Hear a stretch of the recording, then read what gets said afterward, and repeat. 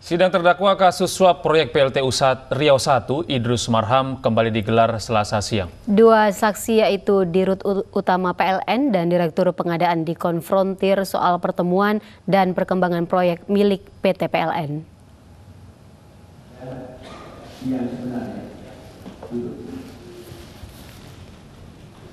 Dua saksi Sofian Basir dan Supangkat Iwan Santoso yang dihadirkan Selasa kemarin dalam sidang tindak pidana korupsi kasus suap proyek PLT Uriau 1 diminta keterangan oleh jaksa penuntut umum.